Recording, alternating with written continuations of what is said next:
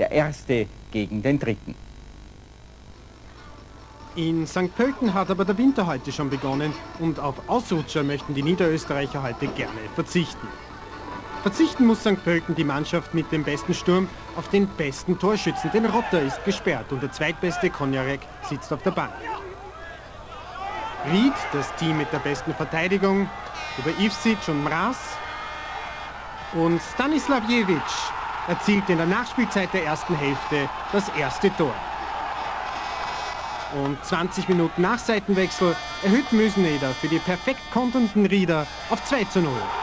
Für St. Pölten also doch ein Ausrutscher, der zweite zu Hause, der zweite gegen oberösterreichische Clubs.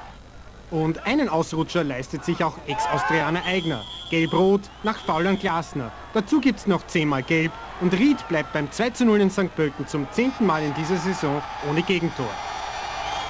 Und auf dem Totoschein ist dies Spiel 5 und Tipp 2 und schauen wir uns die weiteren Ergebnisse in der zweiten Division an.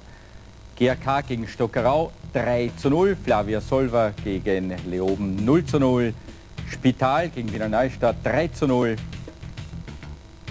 Puch Braunau 3 zu 4, Oberwart gegen Sportclub Gerersdorf 2 zu 2, Wiener Klingenbach erzielte der Meisterschaft gegen Olympia